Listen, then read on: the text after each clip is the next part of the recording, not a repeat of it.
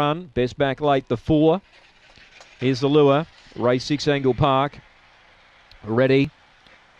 And away now, Dinah Haley about third to begin, easily winning the start. How's it funny? Dinah Haley now gets a clear run, runs to second, three off the leader. Lara Squiller's on the way forward. So's just got him. Then came Hayride Rampy, Alan Robbie. Out the back was Neurosis. Back there with Chippy's miss as they work towards the home corner. Leader ran wide. How's it funny? Lara Squiller's two away. Just can't pick up How's it funny, who goes all the way. Lara Squiller second, third Dinah Haley, and fourth just got him. Uh, behind those, Hayride Rampy ran fifth from Alan Robbie. And the last pair in were both Neurosis and Chippy's Miss. And the time here we just await for after race six. 22.54 now. How's it funny? The winner leads all the way. How's it funny?